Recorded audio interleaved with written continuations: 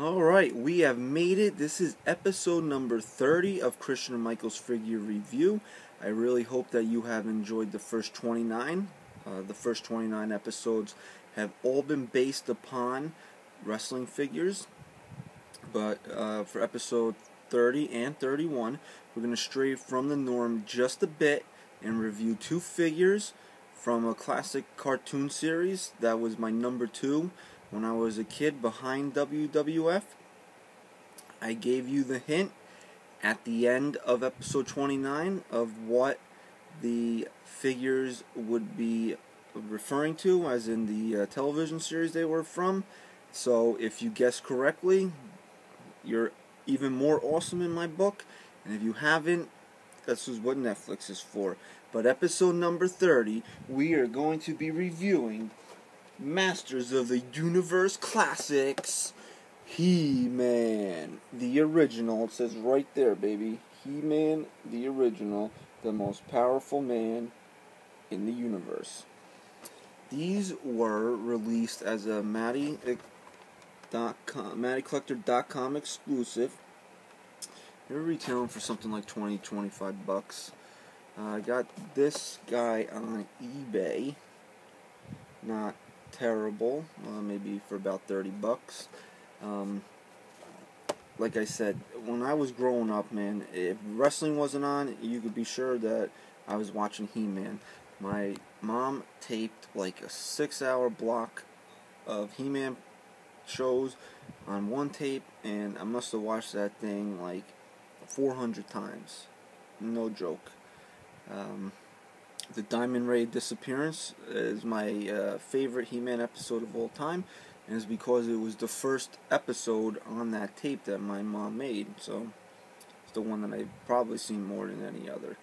But here is He-Man, Masters of the Universe Classics. Here you see him. He's got his shield. He's got the sword. This is for adult collectors. I like when they put that on there because people are like, dude, you're 29 years old, you collect action figures. Like, bro, this is adult collector on it. Like, it's not for kids. You think a 10 year old is walking into a store, be like, oh, I want a He Man? He doesn't even know who the fuck He Man is. It, these things are made for people my age. You know, we are the ones that watched He Man. They're not making this for little kids, they're making it for adult collectors. So take a nice look at them in the package. I love the packaging because it kind of resembles uh, Castle Grayskull there. So that's pretty cool. On the back, you got the other figures in the set: Skeletor, Beastman, uh, Merman, Stratos, uh, and uh, King Grayskull. And I think you'll be able to read the bio on the back if you pause it right there. So there you go. Alright, so uh, here's He-Man. Let's get him out of package and uh, see what we got. So there's He-Man. He's still in the plastic bubble, and the first thing I notice is that this is a, it's a pretty big figure that I gotta be careful I poke my eye out on because he's in here pretty good. I'm not even kidding. He's held he's held in here by with like six rubber bands. And they're stuck in his articulated ankles, which really sucks. And there's one stuck in his waist. Uh, these were made by Mattel, so a lot of the uh, articulation you expect from uh, WWE Elite Series. Uh, these figures are going to have because you see the chest joint, like I said the ankle, the swivel, all that stuff. So here he comes. He's got his uh, he's got a shield. He's got the power sword. There you go. I have the power. And when he transforms from Prince Adam to He-Man. Also, which is awesome because you lose these things like crazy comes with another sword. Although this sword, the one that he's holding, is double-sided. You can you can see it's double-sided. this sword is only one-sided because you can see this is just more like a prop. It, excuse me, too much Mountain Dew. Uh, there you can see this is just single-sided, and also in here.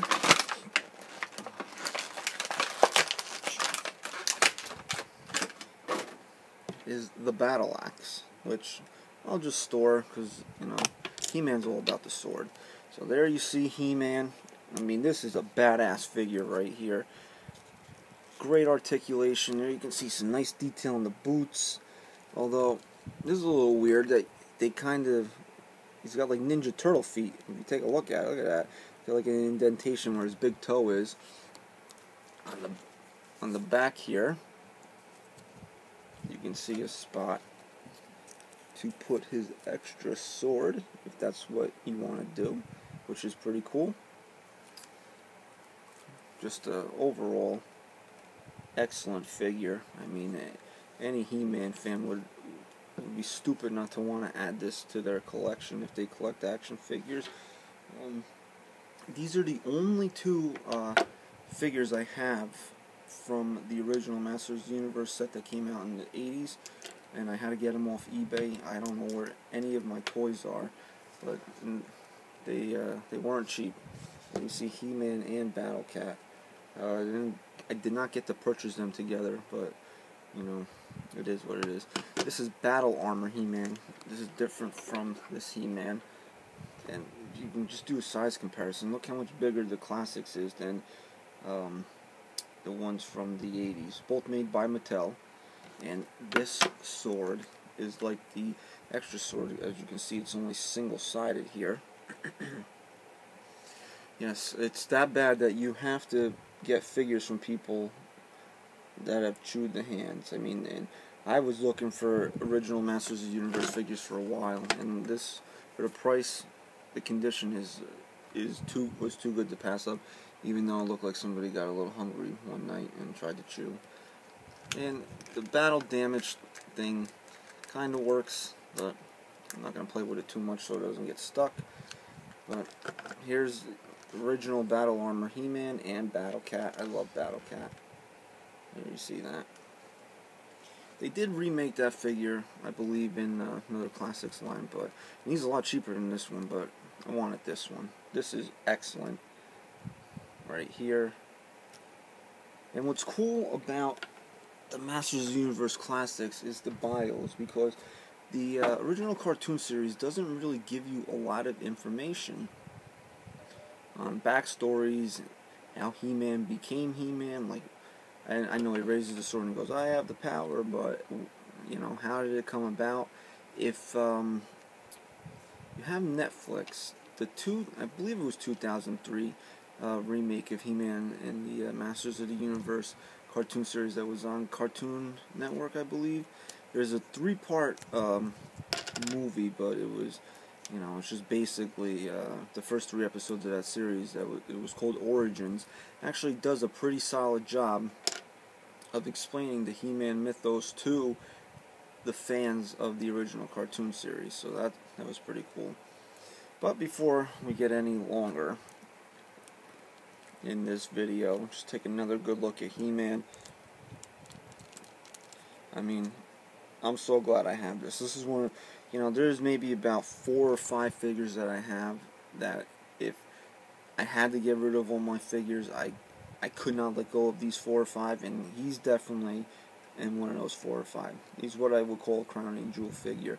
Probably the other one is my NECA uh, Bloody Spit Rocky. Um, looking at my wrestling figures. Um, I don't know if I have any wrestling figures that I would definitely say I can't get rid of, but um, I definitely couldn't get rid of uh, my movie masters, uh, the Joker from The Dark Knight. Um, but there, I would have to really go through it. But he's definitely one of them. Like if the house was on fire, and I only had a chance to grab three or four figures, I'm definitely grabbing him. A must own for any He Man fan, a great addition uh, to an action figure collector's collection. So, that's that. And uh, episode 31 He Man wouldn't be He Man without a great antagonist. And we'll check him out in the next video. So, if you have the power, please rate, comment, share, and subscribe. Follow me on Twitter at Christian underscore 973, and we'll see you in episode 31.